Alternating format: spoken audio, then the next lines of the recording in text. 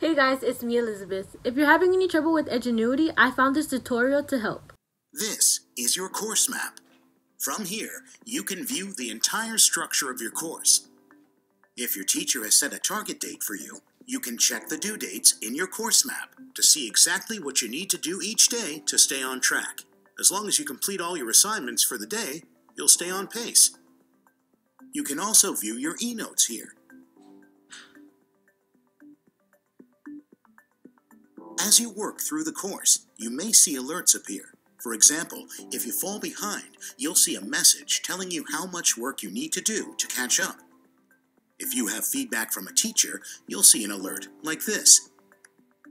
And if you forget to submit an activity for your teacher to grade, you'll see a reminder like this. Don't forget to submit your work once you finish it. A few other helpful things to notice. Want to switch courses? You can navigate among your active courses right here, or go back to the home page. Need help using Edgenuity? Visit the Help Center, where you'll find videos, resources you can download, and frequently asked questions. It helped me and I hope it helped you too. Stay safe.